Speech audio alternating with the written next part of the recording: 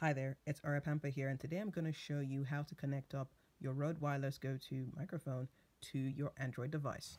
First of all, you need the cable that came with the Rode Wireless Go 2 microphone and then you also need a converter so that converts USB to USB-C.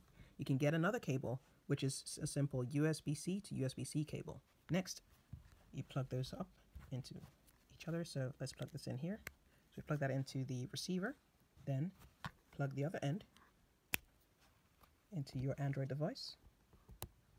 You see a notification telling you it's going to record using a different device. Then hit record. Testing, testing, one, two, three. I'm recording with my Rode Wireless Go 2 microphone. And let's play that back. Testing, testing, one, two, three. I'm recording with my Rode Wireless Go 2 microphone. And that, my friends, is how you set up your Rode Wireless Go 2 microphone with your Android device. If this was helpful to you, please hit the like button and share it with your friends and family.